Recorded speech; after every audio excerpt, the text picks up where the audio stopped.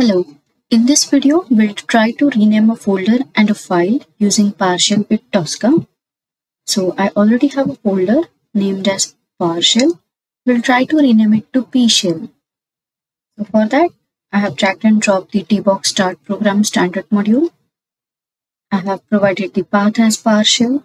In the arguments, in the argument section I have provided the syntax as rename hyphen item space the path to the folder that should be renamed space the same path including the new folder name in the end.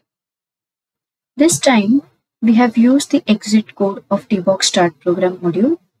The exit code when set as 0 it will verify if the operation is performed successfully. In case of error in this operation we can verify it if it is 1.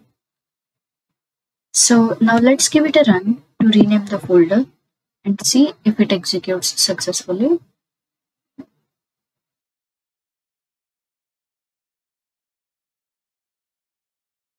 The test step is passed. We'll take a look at the results. Process stopped after 0 minutes. Here exit code verification was successful. It means the rename operation was performed successfully.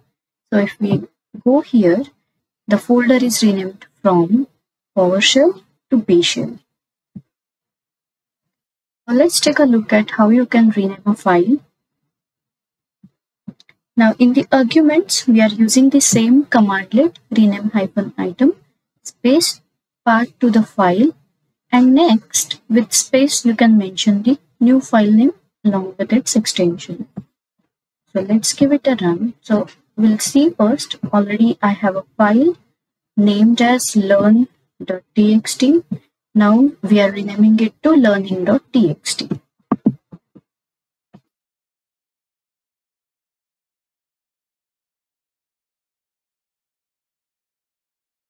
It is passed successfully. Yes, and the value of the exit code is 0 that means the operation is performed successfully now let's take a look so the file is renamed from learn to learning so this is how you can rename a file and a folder using PowerShell with Tosca. Thank you.